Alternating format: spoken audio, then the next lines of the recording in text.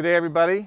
My name's Todd Taylor. I'm the Boat Donation Program Manager for Chesapeake Bay Maritime Museum. We're here today aboard a very nice 2001 Luhrs 36 SX Sportfish. And um, every so often, uh, we're, we're very grateful of our boat donation program to be able to take in such, you know, nice, well-maintained, uh, squared away boats uh, with all systems up and running. Uh, it's not often, but every once in a while. Uh, this happens to be one of them. Uh, came to us from a, a generous fellow uh, out at the beach, and um, he's owned the boat since new and has really, you know, taken good care of it. she's fully equipped, was, was fishing up to the day we took it in. Uh, we ran it here from Ocean City, Maryland uh, without incident. Uh, it's truly a nice running boat. Powered by twin uh, 3126 cats, 8 uh, kW Kohler genset, reverse cycle heat and air, uh, full electronics, instrumentation, um, and everything works. Take a look up here. Up on the fully enclosed bridge deck area, you got nice helm seating, passenger settee, excellent visibility uh, and fully instrumented uh, nav station and, and, helm control, color radar, fish finder, plotter, autopilot, Simrad, um, secondary autopilot, VHF, Clarion stereo, um, all the instrumentation you need uh, for offshore fishing and cruising. Uh, also upstairs is a Furuno NavNet uh, chart plotter fish finder as well.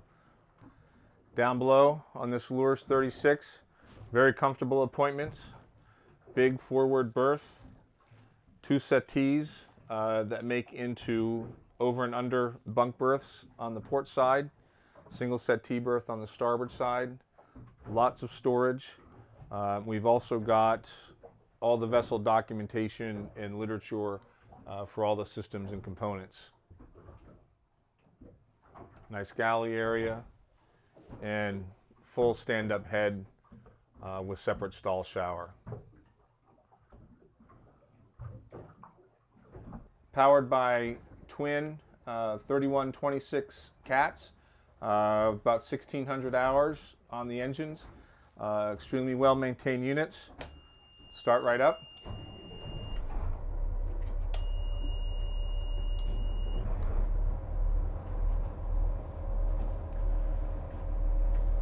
Very well maintained, nice running boat. Thrilled to have it. I'll show you the engine room. The bridge deck uh, hatch is actually a big, large engine room hatch that lifts up hydraulically and reveals full engine room. Uh, not stand up, of course, but there's a good amount of space to actually get in there and work.